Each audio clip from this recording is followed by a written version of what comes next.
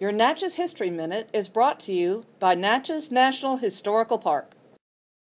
Jennie Merrill of Natchez was murdered on this day, August 4th, in 1932. News of the sensational crime spread around the world, making front page coverage on newspapers throughout the United States and Europe. Coverage of the Goat Castle murder, as the crime came to be known, shed light on the eccentric lifestyles of the four prominent Natchezians involved in the incident. The wealthy yet reclusive Jennie Merrill was the daughter of Ayres Merrill, a former minister to Belgium. In her youth, Jennie was a noted beauty, and while living abroad, she had moved in the highest social circles. She had returned to Natchez, and after her father's death, lived in a number of the city's great houses, finally moving to an estate called Glen Burnie. On the evening of the 4th, Merrill's cousin, and according to some reports, her lover, Duncan Minor, had arrived for his nightly visit.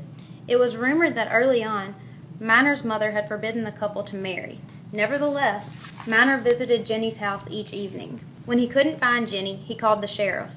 A search party arrived, and it was there, on the property, that her bullet riddled body was discovered. Jennie's neighbors, Dick Dana and Octavia Dockery, were implicated in the crime. Dana, the son of a longtime Episcopal priest, was a talented pianist who had become mentally unstable. He was cared for by his companion, Octavia Dockery, the daughter of a Confederate general and something of a well known poet and writer.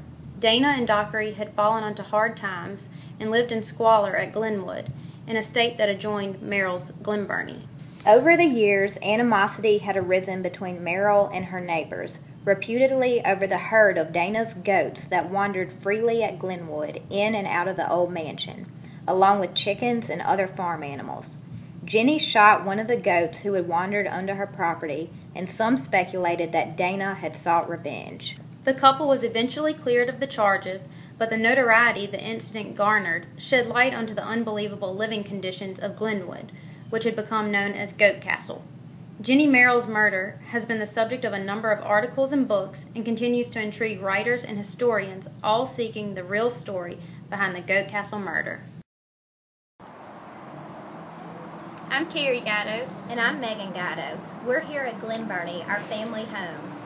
And this has been your Natchez History Minute.